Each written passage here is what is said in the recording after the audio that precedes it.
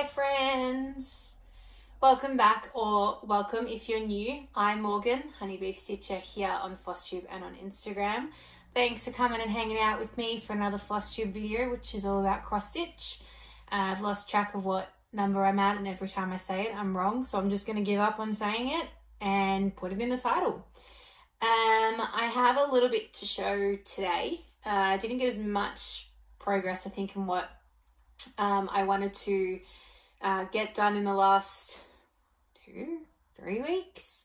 Since my last video, um, we had a little bit of dramas here in, in Melbourne. Um, but I have done, I got a finish and I got a bit done on Smooth Sea like I wanted. Um, still working on my Dark Queen and um, I think the other one I wanted to get some work done on was Quaker Pumpkins, which I haven't yet. Um, but I also have a lot of plans upcoming, so not sure what's going to happen and what the next few weeks are going to look like. Um, so here in Melbourne, it is Saturday the 26th of June. It's currently 1 p.m. Tim has just run out of the house to go grab some stuff for his car for our uh, pending snowboard trip in a couple of weeks, well, not in a couple of weeks, in five, six weeks, um, which will be very exciting. So he's ducked out for a minute, so I thought I'd utilize the time while he's not home to make a video. Um, we have, we are still kind of with restrictions, but we have come out of our pretty hardcore lockdown. Um, funny story as to why I haven't really stitched very much or as much as I was hoping. Um, we had, um, so we were in this hardcore lockdown and we kind of seem to go into these lockdowns when it, you know, like even when like two or three cases come up, everyone starts to get on edge. Um, so our lockdowns don't really happen over something as big as what other countries are kind of going through, which is annoying, but also like I'm grateful that it doesn't get that hectic. Um, but our lockdown happened, um, and I think it was uh, we were still in the five kilometers. No, we were in the ten kilometers from your house radius. I think it was. I think it was ten. Um, and it was Wednesday, the 9th of June, and we copped this epic Arctic storm swell from from down south, um, and it took out the power in a good part of the eastern suburbs of Melbourne. Some still don't have power, and uh, they're not expected to get it until the 10th of July. Um, so that'll be over a month without power. Sorry, don't mind Nala in the background. Um, we were fortunate enough that our power went out for for three days and it did come back on, so thank goodness. Um, my parents are nine kilometers from our house. We were going there.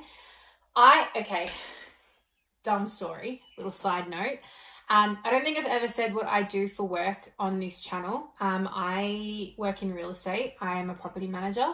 Um, so whenever a storm hits, I get anxiety myself in what's going to happen in terms of my safety. It's just, I think it's like a shift in um, the universe, in energies. I don't believe in that stuff personally as such, but I do believe that like when the storms roll in, uh, the vibes and the energy kind of changes and it really starts to impact me and I get really anxious.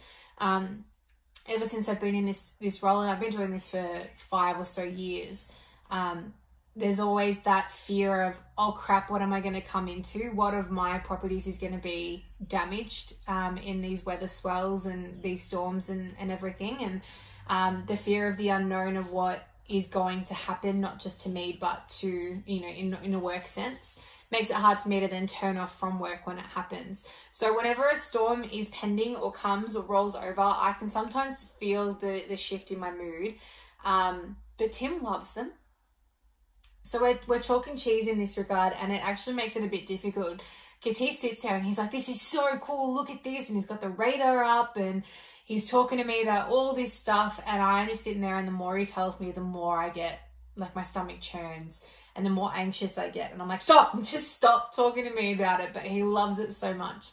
Anyway, this storm hit, and I was very, very paranoid.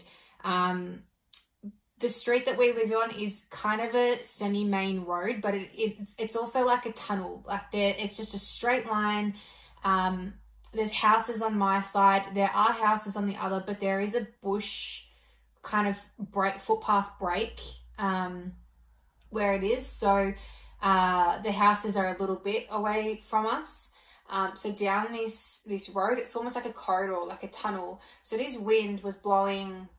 I think they said it got to about 120 kilometers. Uh, my calculations are going to be very off, but it'll be around 70 miles, seven ish, 70 miles. I know 60 miles for you for um, America is 100 kilometers here. So um, yeah, about 70 between 70 and 80 miles an hour um, as a minimum in my area, plus the heavy wind, the heavy rain, and the lun- the lunder. That's a new one. the lightning and the thunder. Um, I just could not sleep. I was so paranoid that something was going to happen to our house. Uh, we had a lot of fire trucks and ambulance and SES crews go past, um, and the lights would shine into our room. Plus, everything was obviously in pitch black, so it was just even more amplified. Um, so I did not sleep, whereas I think that was the best night's sleep that Tim has had in his entire life. So that was just a lot. Um, so we ended up losing our power from Wednesday night at about nine o'clock, um, and it didn't come on again until the Saturday. So we were without power for three days. But I went back to the Stone Ages of uh, boiling water on the stove um, we had a dishwasher full, or not quite full, but it hadn't gone on yet. Um, we normally have like a tea or a coffee before bed, mainly tea. Um, so I was waiting until we'd had um, the last mugs and I was going to put the dishwasher on. Well, power went out. That didn't happen. So when I came home on Thursday, I was able to go to my parents to work. They had power. Um, I had to wash all the dishes in the dishwasher just so it didn't smell because we weren't sure when it was coming back on. And I boiled the water on the stove over four different pots and like five or six different loads. And we went to my parents' house to have showers and everything. And I didn't click that my hot water service was gas and didn't need power. And I deal with this for work. I deal with people um, having issues where I have to tell them and problem solve, and I just in the midst of it couldn't. So for three days, we weren't using our hot water because I didn't think we had hot water. So I knew our unit was gas in my defense, but our heater is gas and it uses an electric power point, obviously, for it to actually run, despite the fact that it also has a uh, pilot light. And I just kind of amalgamated the two together and assumed that my hot water service also needed a PowerPoint to run, even though it had a pilot light. So that was fun. Uh, we are very fortunate that with Tim's work, he has a lot of uh, torches. So on the Thursday when he came home from work, he brought a whole bunch home and we just kind of lit the house up. I brought all my devices to mum's house and we charged everything. We were having romantic dinners by candlelight, and uh, which were from the wedding still. I still haven't gotten rid of them, so that was helpful. Um, but it was just too dark to be able to stitch because it gets like pitch black at like 6 p.m. here um, in winter. So by the time work was done, I literally just had to twiddle my thumbs uh, on the couch for a couple of hours and do nothing. It wasn't even at the time, the first night, I didn't even have enough uh, lighting resources to read a book. I just had to, we just kind of sat and talked and went, all right, bedtime. And that was it because otherwise we would have killed our phone batteries and not had alarms to wake up the next day. And it was just a nightmare. So it really made me appreciate electricity. No damage to my house, no damage to my family's houses, no injuries or anything like that. So extremely lucky. But oh my goodness, I love electricity and I will never take it for granted again. Anyway, that being said, it took away about four or five days of stitching uh, from me over a long weekend. Um, I did churn the rest of the long weekend out in uh, my Hello Petal, so I did manage to get that finished at the end of the weekend. My plan was once I finished that to start Smooth Sea, no, to start Dark Queen, but um, because I'd, I'd lost two days of that weekend, I just I just didn't. So I'm still working on that one, very far from a finish for the second last month. Um, but anyway, I don't have any stitchy haul, but I know that my followers love, uh, a lot of my followers love the things that I love. Love, I can't speak today. Um, so just then I came back, I went out to an appointment and I had to kill some time beforehand. I got there a bit early and they were running a bit late. Um, and I was looking around for a new Apple Watch band for Tim. Um, and while I was waiting for him to call me back, I stumbled into uh, Typo, which most Australians will know. Um, it is a, there's no real way I can liken it to something else that I'm aware of in anywhere else in the world. Um, it is a like stationery and um, accessories kind of shop. Um, it's very pop culture and kind of in themed. So at the moment when I walked in there, there were a lot of Friends related things. So Friends mugs, Friends stickers, uh, pens and pencil cases and book uh, notebooks that have Friends on the front of it. Um, they have like Monopoly in Star Wars. They've got all of this sort of stuff. Um, they've also got so they've got a lot of things. There was even um, South Park related things. Uh, they've had Jurassic Park, like anything that's kind of in and now in pop culture and, and television and and movies and things. They'll have stationery related to it. They also carry um, like laptop cases and and uh, covers and bags and foreign cases and things uh, in those. So it's always really cool to to go in there and have a wander.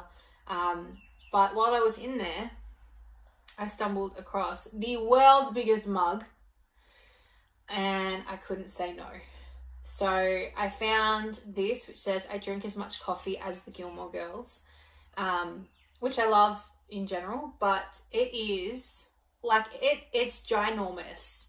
I can't even grip it properly with one hand. It is humongous, which any Gilmore Girls fan knows that this is just a standard Lorelai sized cup of coffee. Um, I drink a lot of tea. I well, uh, I drink a lot of coffee and a lot of tea. Um, but during the day, uh, if I'm having a tea, I want like a big mug. Um, coffees, I don't have big mugs of coffee. I usually just have multiple lattes in a day. Um, so a standard day for me would consist of probably three or four lattes and two, probably two teas minimum. Um, that's just my standard, like minimum. If I'm at the office, I find that I could probably go four or five coffees before I have a tea. Um, don't know if I will ever drink enough to fill this whole thing, um, but this is going to become my desk mug. So, uh, very excited about this. If anyone is interested, it was $15 from uh, Typo. They have a whole bunch of different phrases. They currently have a Central Perk one um, they did have a, a, South Park one with a quote from Cartman, um, and then a couple others. There was some that had swearing on them and things. Um, it was yeah, fifteen dollars. I will try and link it below. If anyone anywhere wants one um, and wants me to organize getting them one, if they can't use the link, I can also look at doing that for you. Um, I know we're all pretty like if you're into Gilmore Girls, you're into Gilmore Girls, so you kind of all might get my joy in this cup. Um, thank God I didn't fill it because I have done this so much in showing you. Anyway, okay, let's get to the stitching if Nala stopped barking.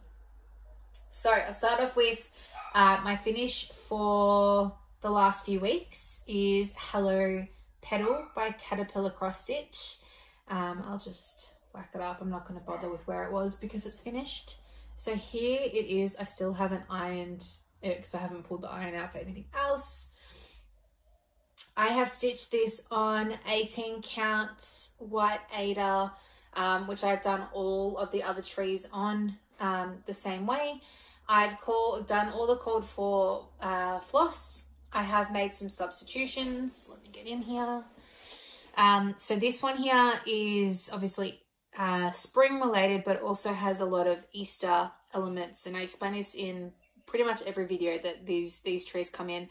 Um, our seasons are obviously different and reversed, so we don't celebrate Easter at uh, springtime, it's autumn for us.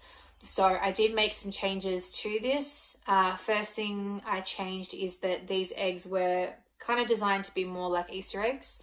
Um, so I've just made them the neutral kind of East, uh, sorry, egg colors. Um, I there was an egg here. Um, so this is a flower from Hello Sunshine. Um, there was another egg here. Again, another flower from Hello Sunshine. And then another egg here, um, which is actually this inner flower. Um, I don't, I'm not a massive fan of the red in this color palette. I think it is a bit too jaunting and polarizing compared to the um, pastel greeny kind of colors. Loved it for the uh, ladybird, but I have taken it out of a few more of these elements here. So this flower here actually is supposed to be purple and red on the inside and then the pink around the outside. Um, I just ended up doing it all in purple. And then once I stitched it and pulled it back and had a look at it, I then realized it was a flower. At the time, I didn't. Um, so then that's why I've then pulled that from it and I've turned that into another flower there. I was going to do this flower in red, but I just feel like it's just not the right kind of color. So I didn't. I just didn't do it. I said to Tim what color and he picked and he said the pink. So that's what I did there. And I took the two flowers out of the mouse. I wish um, if there was anything that I would change about this, it would be the mouse. I think uh, Beth Chadwick at Stitch with Beth has finished this as well. We were kind of neck and neck at, at a finish at the same time um, towards the end of it.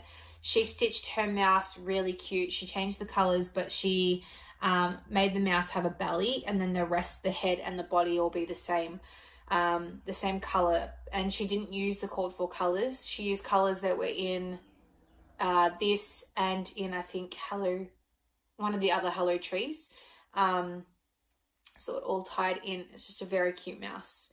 Um, I think he's still cute, but I just, I think I liked Beth's, Beth's better. So if I had my time again, I would change that. But otherwise, this is my spring tree.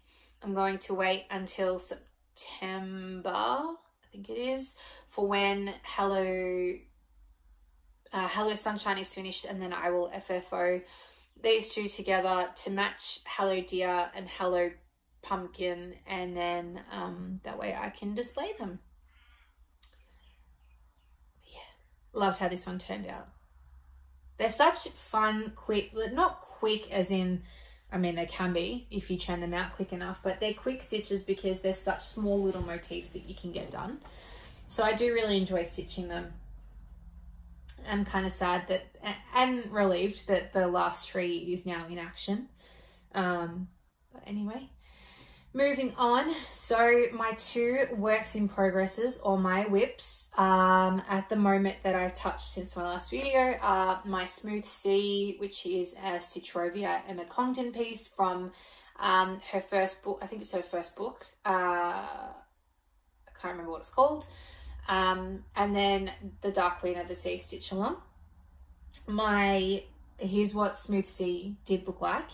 Um, my plan was to at least fill in the rest of Never Made Up, that little banner, and if I could get the little extra circular, circular pom done on the side so that the banner is actually done and then it's just the rest of the wording in the anchor.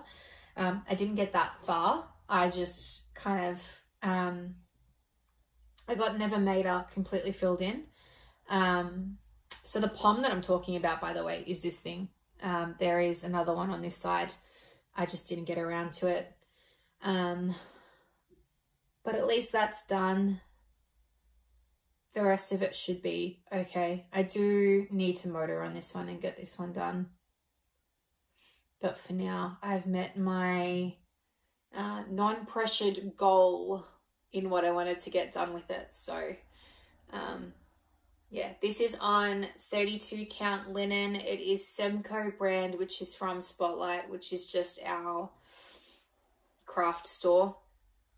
Um, I think Semco is their kind of home brand.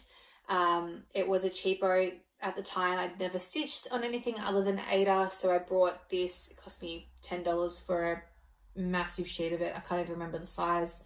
Um, just to play around and considering this is for my father-in-law, he won't really know or care. Um, so I thought I'd use it on this. Yeah. And then my last work in progress is the Dark Queen. I have not taken her off the Q-snap because I am stitching her. I was stitching her before I made this video. Um, I am on, oh, you can't see it. This is my uh, progress so far on part 10. So part 9 was all of this shrunk. I can't remember if I did say it in my last video, if I just said it to Tim. Um, the, the gaps in this made me think that there was going to be more tentacles um, that come off her, and sure enough, I'm correct. I have finished these uh, pinks. There are three threads in there, so I've finished those three colours. This part has nine colours, so I've got six more to go. Um, it's a lot of stitching. It's nowhere near as much as this, so I should now be able to motor on this. I've only really been working on it the last two or three days. So um, this is currently what I'm working on, just this filling in this little section. Um, I had run out of two of the colors, 939 and 550. Um, and I, I had them, like my skeins, skeins, however you call it, but I just hadn't uh, put them on my floss drops. So um, I finally did that just before. So now I'm ready to go again. So yeah, I'm wondering if this is now officially the bottom, like there's not going to be anything, any other detail down the bottom. There's no border as such around the top. I know that this is kind of like the border here with this dead line and then some kind of Art Nouveau popping out. Um, which makes me question whether or not there's going to be any more of those two corners. Uh, the top of the pattern has two framing device corners.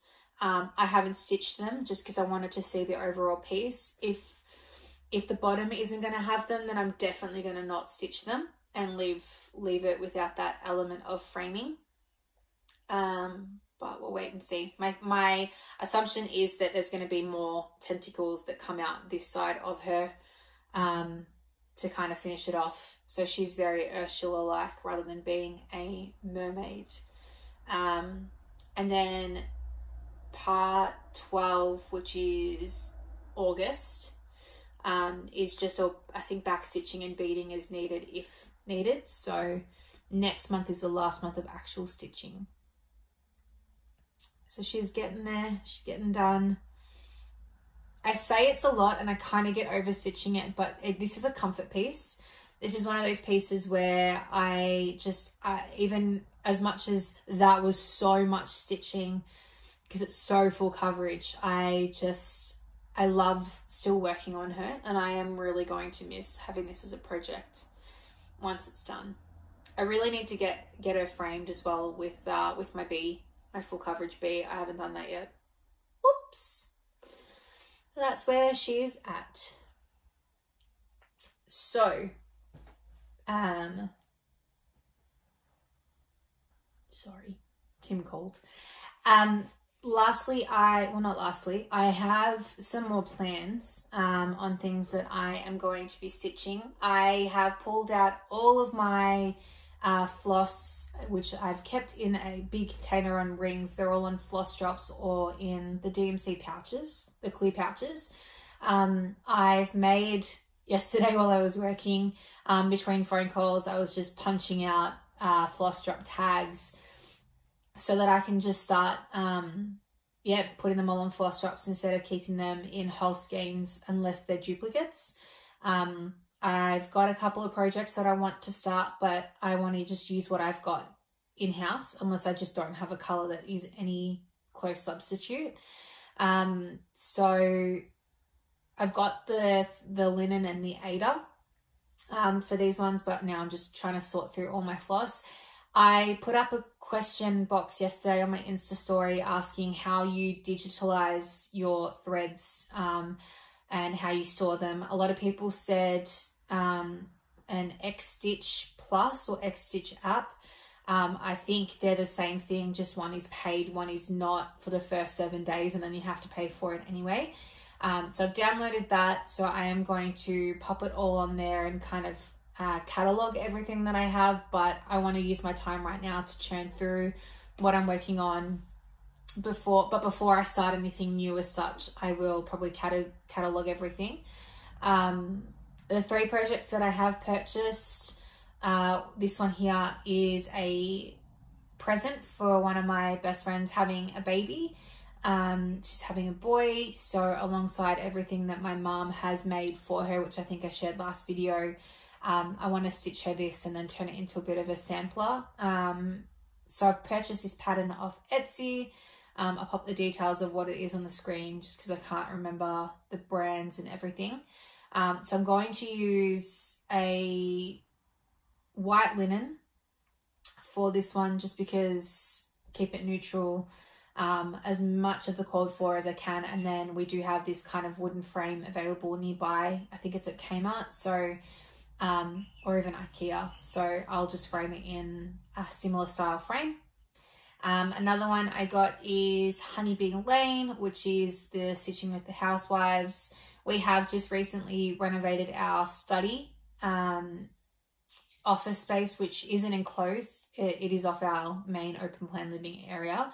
Um, and we've put in a wall to wall desk, floating desk. Um, we've had to cut the bench top down. So we've got some stuff to make some shelving units. Um, so I'm thinking about putting this on one of the shelving units or at least on the desk, um, fitting that it's both Tim and I. I'm just going to do this in the DMC substitution um, on some off-cut black Aida that I've got. Um, and then lastly is also this honey one. And I'm going to turn this into a bit more of like a, I guess, wedding sampler. Um, above and below the honey word, I'm going to kind of make it a little bit more of a gap. Um, and then I'll probably put like Mr. and Mrs. Um, and then underneath our wedding date um, as well. So that'll also go on one of the other shelves. Um, so yeah, just going to use whatever I've got around the house or in my, my stash um, to stitch these, not, not get any of the called for fancy floss or anything. Um, they're small enough that they should be really quick stitches. So yeah, looking forward to that one. And then I'm really sorry, I can't remember who sent this to me, but someone did send me this chart um, in my DMs on Instagram, and I'm so glad you did. Um, this is a little stitching bee which I think is just so cute. Um, so I want to stitch this one and kind of have this at my desk at home where I've got all my um, work stuff, but also where I've been doing a lot of my, for lack of better word, admin maintenance, sort of where I'm doing all this thread, uh, thread, thread drop sorting and um, cataloging and stuff, kind of turning it into my little crafty area as well. I don't want to, I I can't turn this room that I'm in now into a, a craft room. Um, we have Tim's family stay here way too often um, for it to be able to be used that way. Um, so it's kind of just at my desk um, that I've got it. So yeah, kind of keeping this all together. Um, so there, once I've finished Dark Queen, um, put a couple of stitches into Quaker Pumpkin, I'm going to start, put a start in on all four of these um, and then I'll probably have these as my focus pieces to churn them out. I don't think they're going to be too big a stitches. Um, so yeah, they should be some quick finishes to have and might get my butt into gear into FFOing or fully finishing the rest of the pieces I have. Tim's just come home. So I'm going to use that as time to say farewell. Thanks for hanging out with me. Um, let me know if you like this one, give it a thumbs up, leave a comment, subscribe, all that good stuff. Um, if you've got any questions or if I'm missing anything, send me a DM, leave me a comment, whatever works for you. Um, otherwise, I'll try and leave as much info as I can down the bottom. Hope you're all well, keep stitching, stay happy and healthy, and I'll see you all soon. Bye.